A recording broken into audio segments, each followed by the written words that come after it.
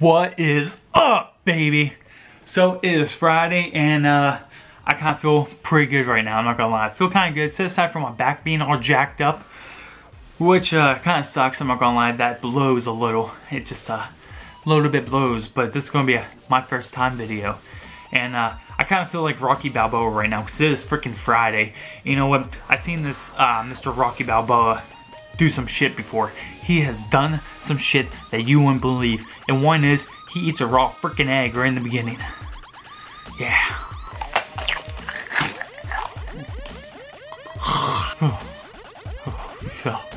I think I did it wrong. I think I was supposed to crack it open in my mouth.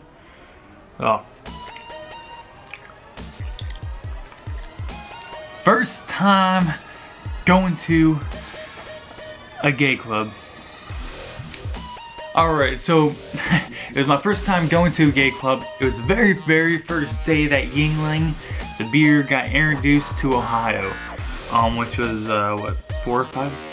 I don't, I don't know how many years ago it was, but it was too long ago. It was within, it, it, it doesn't fucking matter. Also, not to mention that me and my buddy were also drinking a little bit of Shine, some other stuff before we even got to this gay club which was Utopia or Uto I don't I forget exactly what the name was, but um yeah we went there.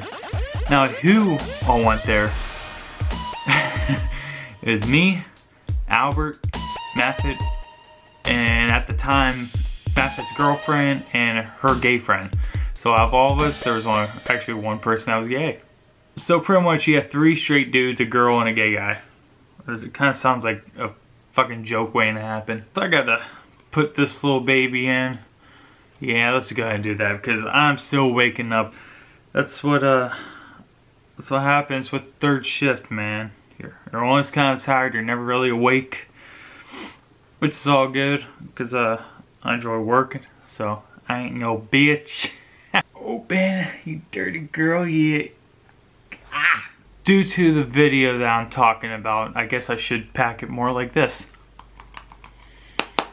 Should this be like the other way to leave the suspense of what the fuck it is? Maybe it is a cock, maybe it's not, maybe it's just some fucking dip? Dear Lord, I apologize for that one. Please forgive me. I need to wake my bitch ass up. I got a lot of shit to do. Right, so here's the case. Before, before the night even started, it was suggested about going to this club. At the time, me and Albert, the guys that are usually in my videos, we didn't know like what kind of club it was specifically yet. We had an idea, but we didn't know. Ended up deciding to go into a gay club. We knew it was a gay club. I actually had to talk Albert into it a little bit. Like, hey, you know, we should just fucking go, screw it. And he, he, he wasn't really having it for a minute. And uh, eventually, obviously, he broke we got kind of liquored up before even going. we end up going to this place. It's actually pretty freaking big. It is pretty good size uh, club or whatever you want to call it. But anyways, we're me and Albert pretty much drunk. So is kind of doing his own thing. You know, he's got his girl there, and then uh, his girlfriend, or I'm sorry, his girl's, his girlfriend's friend, um, the only gay one of the group we have going in and everything. And uh, they, I guess they used to go to this place all the time just because you didn't have people fucking with you. We go to regular clubs. Trust me, I like going to regular clubs every now and then. Not now. I mean, I don't give a shit about that shit now. A handful of times I went to the club, you know, this club was not bad. Because you don't gotta watch over your back. That, that's pretty much what, well, maybe you do it to different reasons. For regular clubs, you know, you always gotta kind of watch your back just because of there's gonna be that one damn asshole every time. There's something wrong with my face apparently. Like it's like that scene from Step Brothers about, you know, changing my face. That's what I feel like, dude. Anytime I go out somewhere, it's like someone's gotta try to fuck with me and I won't do shit. Just sitting there at the bar, mind my own damn business. Someone's gotta start some shit. Some shit that they wouldn't fucking believe. In this place, they're they got all these signs of uh, Yuengling and everything. Like I said, Yuengling is actually America's oldest brewery.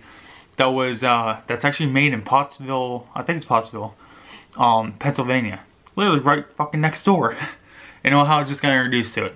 It's the oldest brewery. But when you walk in, you walk down this like almost like narrow, it's not narrow, but it's just like long hallway. But on the left side, there's like rails. You can see a big ass bar area with a bunch of tables. Like it's like a whole bar section, almost like a full size restaurant right at the left side. Keep walking in, you got the dance floor. First thing I notice, now keep in mind, me and Albert are kind of hopped up on Shine. First thing I noticed was three stripper poles. Maybe there was two. I don't know. There, I thought, I don't, regardless, there are fucking stripper poles, man. With the boxes, they stand up on, you're elevated, and fucking stripper poles. Stripper! You probably see where this is going. It looked fun to me. Alright, that shit looks really fun. But I held off for a little bit. I was like, you know what? Let me go pee pee. I want to go tinkle. I was like, Albert, Matford, maybe you guys should go with me. With everything I'm saying here, it's going to sound like I'm a homophobe, and that's not the case. So we get to this bathroom, and they had the low, um, uh, what, what are they called? The, they're the low-rise hanging ceilings. Those are the ones with the tiles that can just get pushed up. Well, they had those, and it was low. First thing I did, I have no reaction, or no hesitation, I mean. As soon as I walked in, I'm like, oh shit. And I Super Mario Man punched that shit. You know, it's a me, a Mario. Yeah, I punched a freaking hole right through the fucking, right through the freaking tile. It just like, boom. It, was funny. So when we get back on the dance floor, I noticed that there's a side room that's off of the floor. So now it's like a third room. I was like, all right, I was like, what the hell is in here? Walked in, I think there was a pool table, I believe, but it wasn't the pool table that caught my attention. It was the big ass rocking horse. I mean, this thing was a huge, big freaking donkey. Man donkey just sitting there waiting to be rode. Uh, what I mean is a rocking horse. I literally mean this fucking thing was a rocking horse that was bigger than I was. It was a full-size freaking horse. A full-size rep replica of a horse that had little rockers on it. But I can't really remember if I tried getting on it or not. I'm sure I probably did. Uh, we come back and people start come up or starting to come in, and uh, you know, me and I were just kind of we were starting to get sober. this is like at the pivotal moment where you're starting to get sober, but you're still kind of feeling that really good buzz. So I was like, let's get another beer. Got another beer, drank that down. And now more people coming up. People are dancing, all this other stuff. So I'm like, I want to get on the stripper pole. I'm going to make that stripper pole my bitch. So at a gay club, hopped up on Shine and Yuengling. I decided to jump up on that little box thing. And I fucking spun around that motherfucking stripping pole. And I was the shit.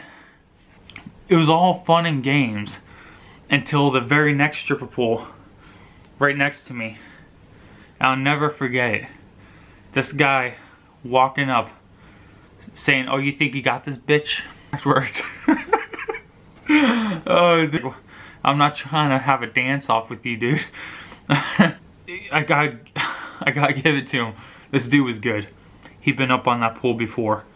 but he's been on many pools. the knee slapper. Here's the knee. See it right there? Yeah. Here's a.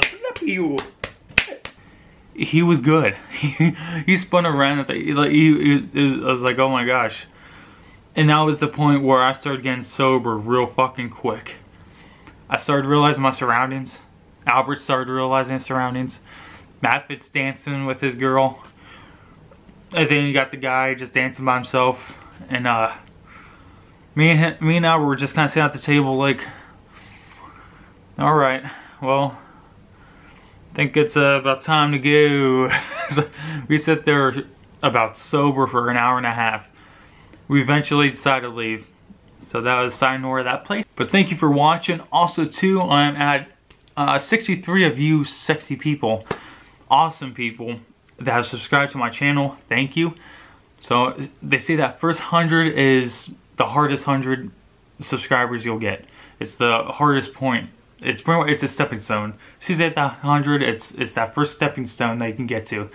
So I'm hoping to try to hit by this uh, by July, end of July. So if not July, I'm definitely I'm for sure I'll hit the 100 mark by next month in August. But thank you guys for subscribing. Please like, please keep subscribing. Feel free to comment and uh, we'll see y'all sexy songs bitches around later.